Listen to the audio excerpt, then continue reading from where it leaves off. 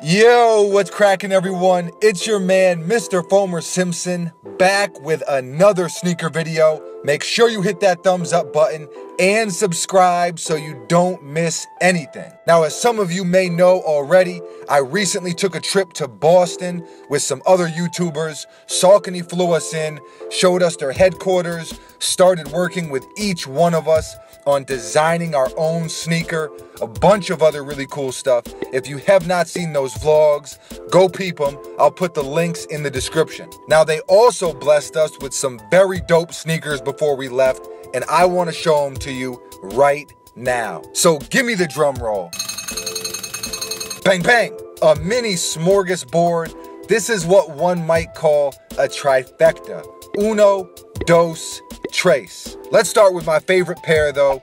These are samples, but I believe they will be releasing in 2016.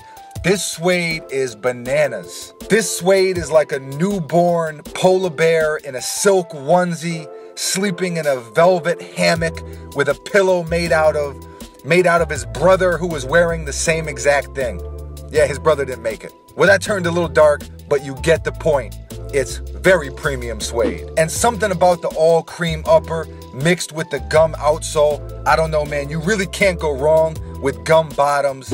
These are simple, but I absolutely love them. I'd say these are one of my favorites in the rotation right now. Next, let's go with the originators only pair. Very nice, very nice. They made 10 of these because there was 10 of us who went and they stitched our names into the back. Foamie, of course, because anything else would be uncivilized. So I guess that really makes it a one of one. Pretty dope. Peep the woolly mammoth upper with that smooth leather toe box, icy bottom. I like these a lot. I like them a lot. And closing it out, we have the Cruel World 3s that Bait did. You got that big Lebowski sweater plus the 3M Saucony logo on the side. Yo, if you haven't seen Big Lebowski, by the way, you are not living right. Please go watch that and thank me later. I also really dig this Heisenberg blued out bottom. Just a nice sneaker, man. Bait on the back, as you can see. They used a real nice leather here and on the toe box. These are dope. Anyway, that's it. You know I like to keep it short and sweet.